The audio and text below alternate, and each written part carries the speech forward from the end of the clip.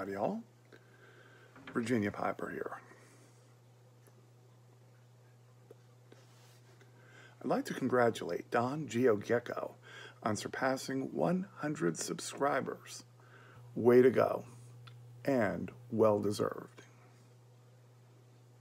Now, he recently had a giveaway to mark the occasion, asking viewers to tell an animal encounter story. Now, although this comes after the giveaway, I thought this would be a great story to share.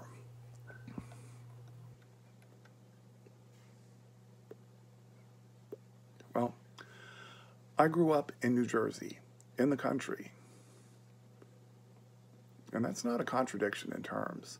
There's a lot more to the state than Newark and Camden. There's the shore, the mountains, and farms. I mean, it's called the Garden State for a reason.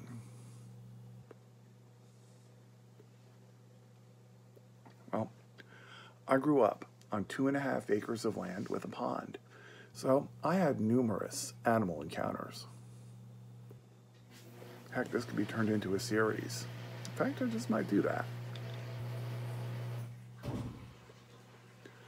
My uncle was a practical joker. He once showed up at our house with two geese. A farmer wanted to get rid of them, but my uncle didn't tell us why.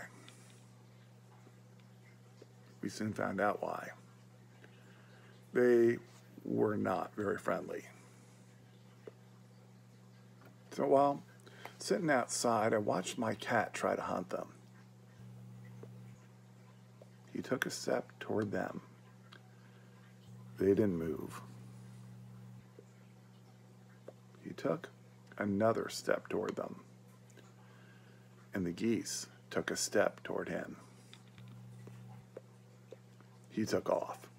There was no way he was going to mess with them. Interesting, I thought. Then came the stories, such as the town inspector who came to check out the pond heard a hissing sound and mistook the neck of one of the geese for a snake. Apparently, he could only see the neck. Let's hope so, anyway. Someone told me how the geese flew after a boy who was riding his bike. The poor kid kept looking back and pedaling faster. Then there was the time one of the kids I hung out with came up to me and said, Your geese tried to attack me.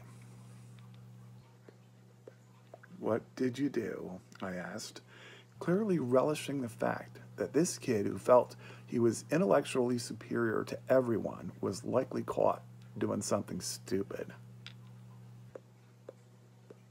He told me what happened.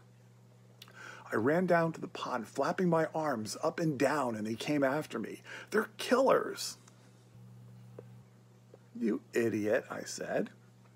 See, it turns out they ran off before they could do anything. It turns out that he ran off before they could do anything to him. Well, one day, I thought I'd give it a try just to see what would happen. So I ran down to the pond, flapping my arms up and down, and sure enough, they swam out of the water and ran towards me with their heads low to the ground and hissing like crazy. I decided I wasn't going to move.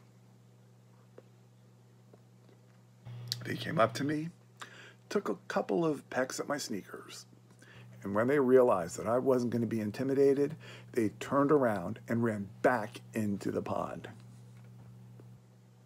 They were all attitude, but completely harmless.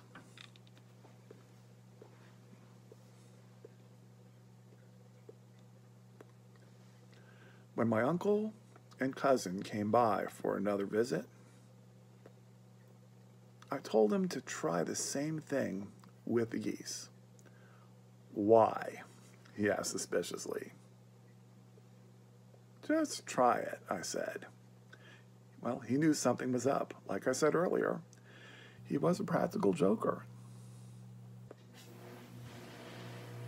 So he had my cousin drive their car down the road as close to the pond as possible. He then ran down to the water, flapping his arms up and down, and on cue, the geese ran after him.